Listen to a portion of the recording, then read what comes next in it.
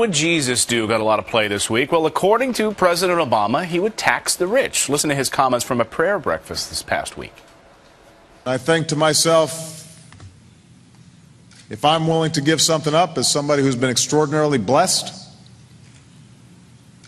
and give up some of the tax breaks that I enjoy, I actually think that's going to make economic sense. But for me as a Christian, it also coincides with Jesus' teaching that for unto whom much is given, much shall be required. Well, that got a lot of play this week, of course. So, should the president be invoking Jesus while trying to sell a tax plan? Joining us now is Fox News contributor Steven Crowder. Nice to see you this morning, Steven. Welcome.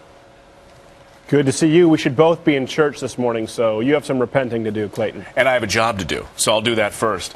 Uh, Steven, let me ask you, as a Christian, you are a Christian. What did you think when you heard the president saying that the that it would be that's what Jesus would want is to tax the rich? When I hear this, there are really only three possible outcomes because he's sort of been invoking this for a lot of reasons now, the name of Jesus. Uh, one, either, you know, first let's assume, by the way, that he is telling the truth, even though those folks in Discovery Channel have more chance of finding Squatch than you have of finding Obama in a church. Let's say he's got God on line one. He really is praying all the time when making his decisions.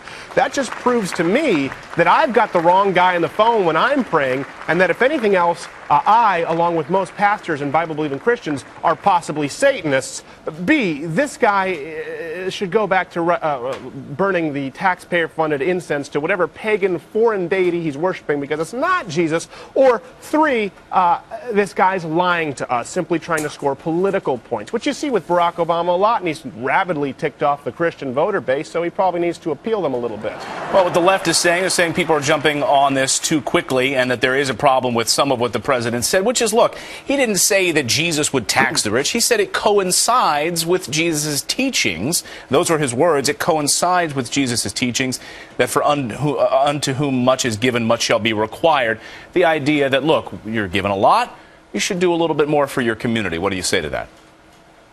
No, I think that is true. And you know what? He also says uh, that you should be tithing 10%, as we see in the Bible. Give unto Caesar, which is Caesar's, and that unto God, which is God's. Uh, Barack Obama believes. Eh, much give it all to Caesars. Listen, I don't have a problem with somebody saying, hey, my faith dictates my policy. My faith dictates every decision that I make in my life, so it's going to be a part of it. You saw that with George Bush and the presidential prayer team, something that Obama does not have. Uh, I don't have a problem with any of that. What I do have a problem with is being lied to when you say, well, I'm doing this because Jesus wants me to. Really? Does Jesus want you to reverse the Mexico City policy where essentially we're now paying for abortions overseas? Because I don't know how he'd feel about that. And it seems to be that morally he's diametrically opposed to Christians. So, how, if you're in that direct contact with the Lord, do you get it wrong that often? It sounds to me like he's playing a bad game of telephone. uh, I remember telephone from nursery school. Thanks, Steven. Great to see I you this too. morning. It ended up becoming a filthy game. It did. It did. Uh, I won't go there.